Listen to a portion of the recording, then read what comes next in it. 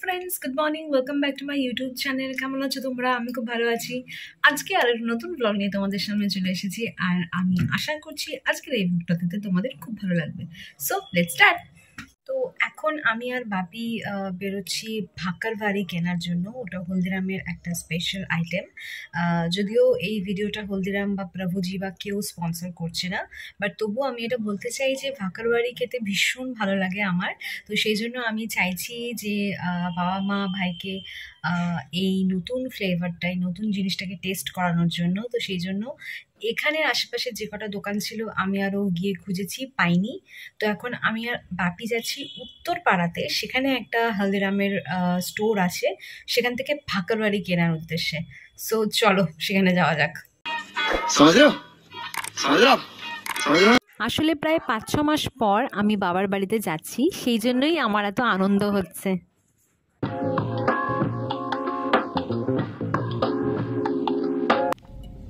তো আমি আর বাপি ট্রেনে উত্তরপাড়াতে যাওয়ার সিদ্ধান্ত নিই।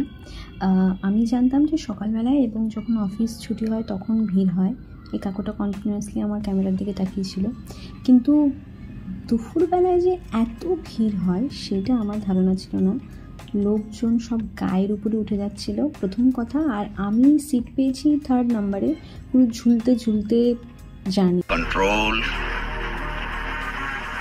তো পরের স্টেশনে আরও লোক ওঠে। সেটা দেখে আমার মাথাই পুরো নষ্ট হয়ে যায়.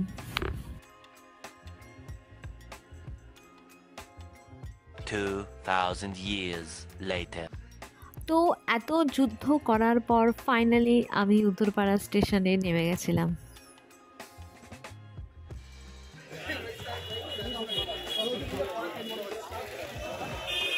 যদিও আমাদেরকে বেশি খুঁজতে হয়নি, স্টেশনের একদম পাশেই ছিল প্রভুজি হলদিরামের একটি কাউন্টার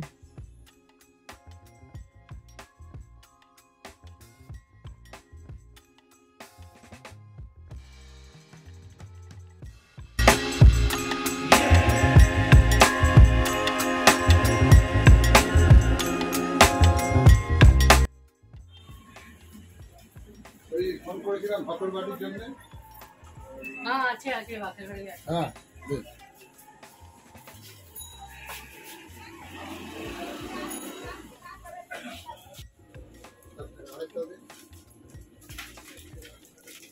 আর এইটার গোলটা আছে?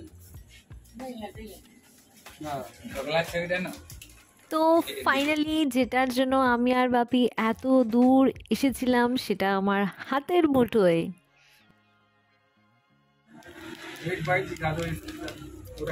দুটো নিয়ে নি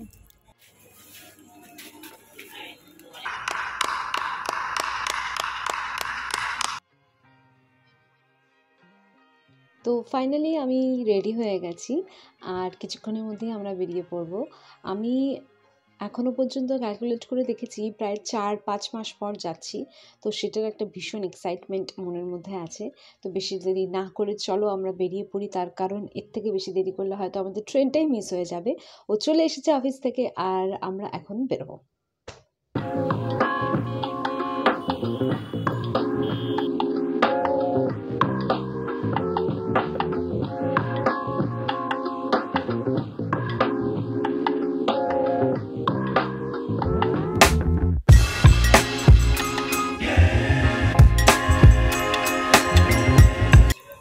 তো আমি ফাইনালি ট্রেনের মধ্যে উঠেই গেছি।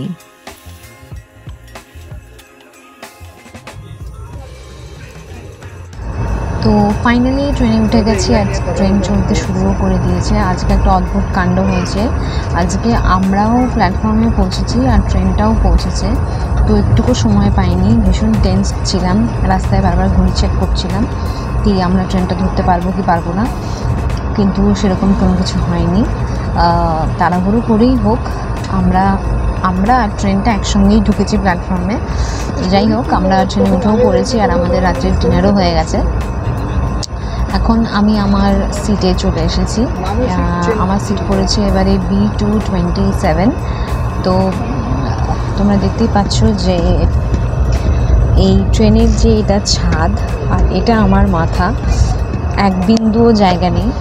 মানে আমি যে বসে থাকব সেটার কোনো উপায় নেই।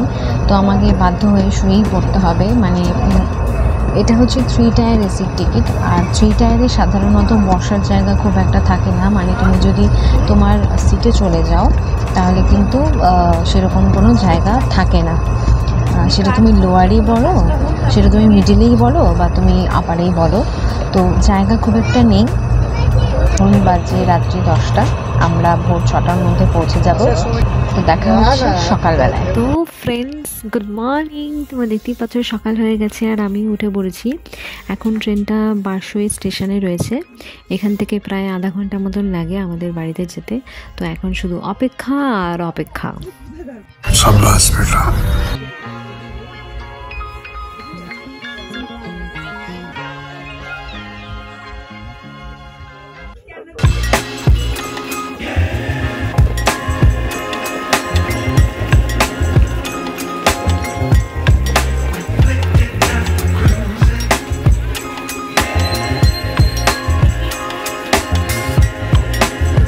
ঠান্ডা হচ্ছে এটা হচ্ছে শীতকাল উইন্টার